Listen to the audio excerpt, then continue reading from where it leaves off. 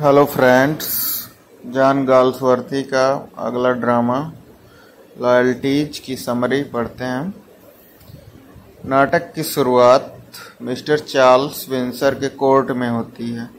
यह घर new market racing centre के पास स्थित है।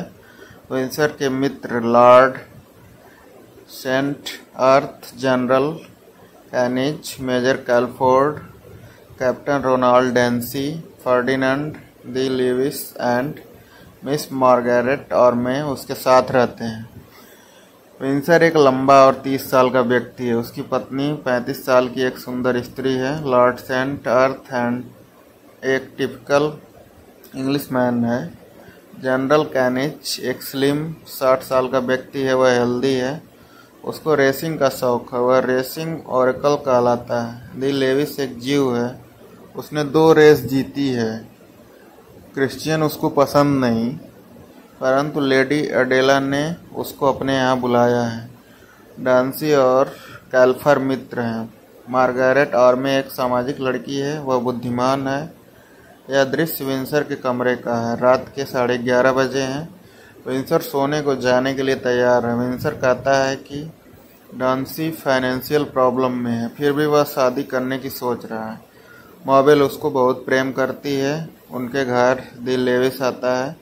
दिल लेविस विंसर से कहता है कि उसके तकिए के नीचे से सौ डॉलर गायब हो गए हैं। वह बताता है कि वह बाथरूम गया था। पंद्रह मिनट के लिए उसने बताया कि उसने रुपए एक बुकी कैंटमैन से लिए हैं, अपनी घोड़ी के बदले।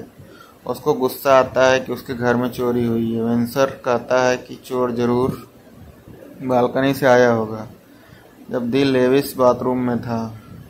विंसर पुलिस को बताना चाहता है कि उसकी पत्नी पुलिस को फ़ोन मिलाती है। ट्रीजर जो कि रसोइयाँ उसको बुलाया जाता है। वह बचपन से उसके घर में रह रहा है। विंसर उस पर विश्वास करता है। दिलेविस ट्रेजर पर शक करता है। ट्रेजर कहता है कि पूरे घर में तलाशी ली जाए, परंतु विंसर मना कर देता है। लेडी अडेला जनरल कैनिच को सूचना देती है, वह कमरे की ऊंचाई के बारे में पूछता है। ट्रेजर बताता है कि टेरेस से बालकनी तेईस फीट है। वह बताता है कि एक सीढ़ी है, परंतु वह वहाँ से हिली नहीं है। दिल लेविस को गुस्सा आता है। वह कहता है कि जब पुलिस आएगी तो तुम मुझे सब बता दोगे। लेडी अडेला मार्गरेट के साथ आती है। वह बताती है कि इंस्पेक्टर डेडे अपने बाइक पर आ रहा है। डेंसी और मैबल कमरे में आते हैं। डेंसी पीला दिखाई पड़ता है। पुलिस का नाम सुनकर डेंसी परेशान दिखाई देता है।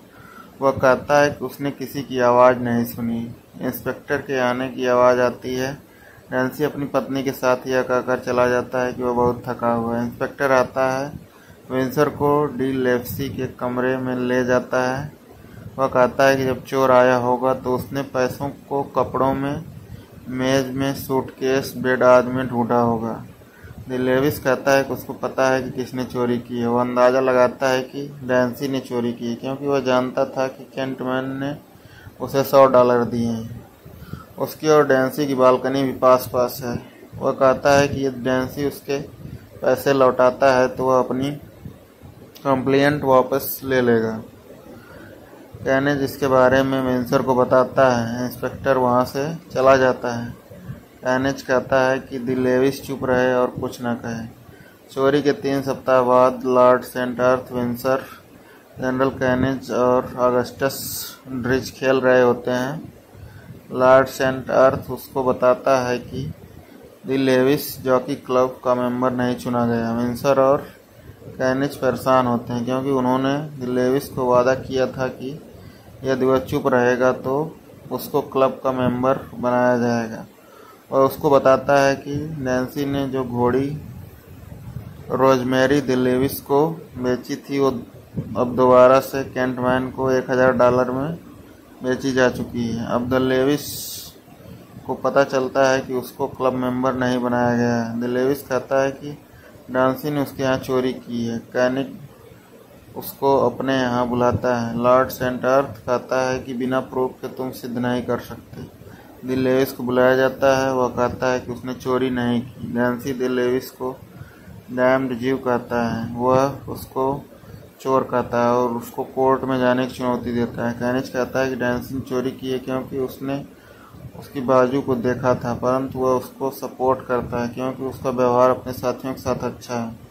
विंसर उसको सपोर्ट करता है क्योंकि वह उसको बचपन से जानता है। अडेला और मार्गरेट मार्बल को समझाती हैं कि उसको कोर्ट में डेंसी को सपोर्ट करना है। डेंसी आता है और अडेला और मार्गरेट चले जाते हैं। डेंसी अपनी पत्नी से कहता है कि उसे यह जगह छोड़कर नरबोई चले जाना चाहिए। उसकी पत्नी कहती है कि लोग सोचेंगे हम भाग गए हैं। वह कहता है कि वह लोगों की परवाह नहीं करता। केस की शुरुआत हो जाती है और डेंसी को दोषी पाया जाता है। डेंसी अपने घर पर अपनी पत्नी को चोरी के बारे में बताता है। इसी बीच पुलिस आ जाती है। उसकी पत्नी पुलिस को अपनी बातों में उलझाती है और वह कमरे में चला जाता है। अंदर जाकर देखते हैं तो डैंसी ने अपने आप को शॉर्ट कर लिया है। इस प्रकार यह ड्रामा समाप्त हो जाता है और यह दिखाता है कि एक एक आदमी जो गलत करके कितना परेशान रहता है और अपनी परिस्थितियों से भागना भी चाहता है। Thank you